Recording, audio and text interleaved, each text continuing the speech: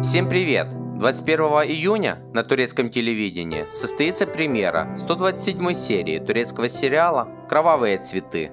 Ранее мы увидели, как в особняке Дилан не находит себе места. Она понимает, что все, заканчивается эта история, но чувствует, что есть недосказанности. Баран говорит Дилан о том, что понимает, почему она мучается и не может спать. Дилан вспоминает слова тети Берри Ван, что в сердце человека есть что-то, что вам не нравится, но есть и то, что очень нравится и что вы не можете отпустить.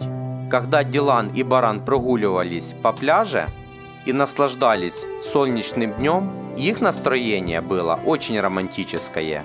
Внезапно к ним подошел мальчик с букетом цветов. Мальчик сказал, что букет от тайного поклонника и дарит ей эти цветы ведь эти цветы для самой красивой девушки.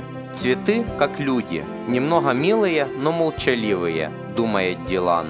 Баран говорит, разве не все говорят на этом языке? Тебе нравится Дилан? Ты будешь скучать по этому месту? Баран и Дилан ведут себя, как настоящая влюбленная пара. Веселятся и кидают камешки в воду. Баран подхватывает Дилан и еле себя сдерживает чтобы не поцеловать Дилан, которая надела прекрасное весеннее желтое платье. Следите за анонсами ваших любимых турецких сериалов вместе с нами. Подпишитесь на наш канал и не забывайте ставить лайки.